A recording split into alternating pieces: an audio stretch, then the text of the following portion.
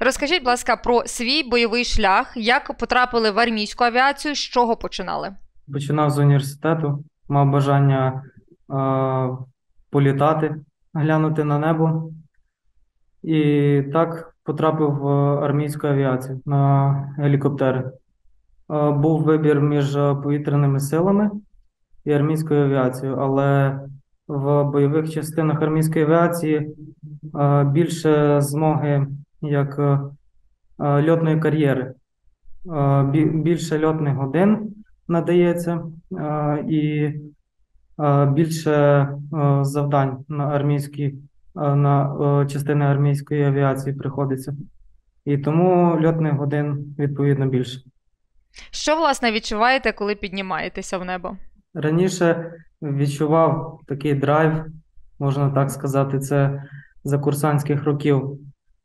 Але вже потім звик, вже не відчувається якоїсь такої е, ну, цієї ізюминки. Вже як звичайна робота виконується.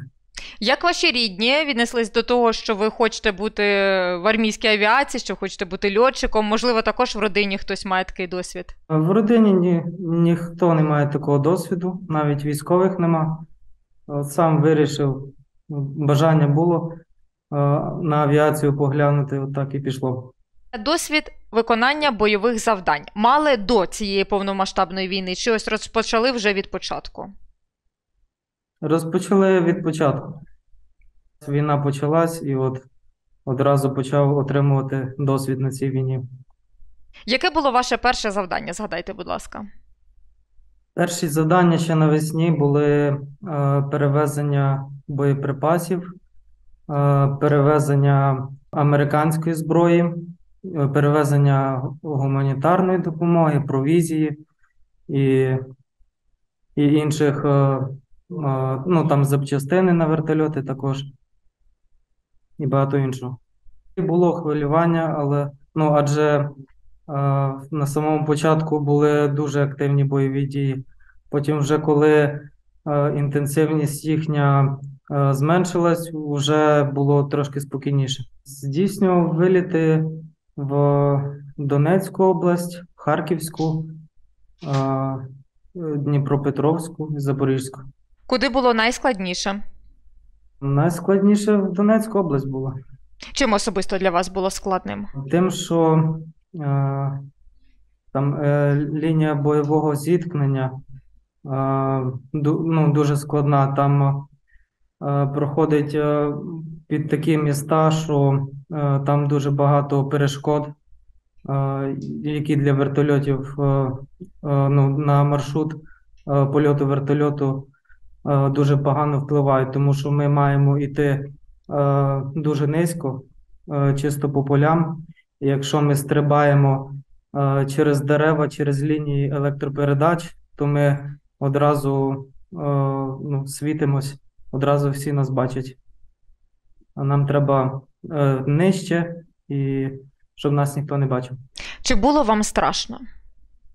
Перші бойові вильоти, саме бойові, е, були не такі е, страшні, як вже наступні, тому що е, вже більше розумієш ситуацію, вже більше розумієш, е, яка небезпека тебе там може чекати, і воно, оцей страх, як накопичується. Взагалі молюсь е, кожного ранку перед вильотами. І кожного вечора після вилітів також. Чи траплялися вам е, на ваших завданнях якісь курйозні моменти, які доводилося долати? Найкурйозніші моменти з лініями електропередач, е, коли е, йдеш низько, е, щоб ППО противника не побачило. І треба перестрибувати лінії електропередач, і може таке бути, що е, один провод не побачиш і можеш врізатися в нього. А так, ну, зазвичай все обходиться нормально. Що б вам, наприклад, вам особисто хотілося б додати, або, можливо, вдосконалити, або, можливо, якось змінити армійську авіацію? Чого, на вашу думку, можливо, не вистачає? Я думаю, не вистачає американського ленд-лізу і новітньої техніки. Які плани маєте на вже після перемоги? Після перемоги.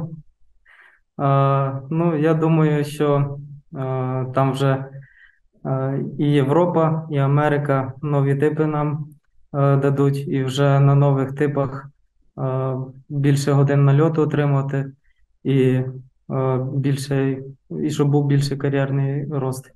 Я вам дуже дякую за розмову і бажаю вам успіхів у вашій справі.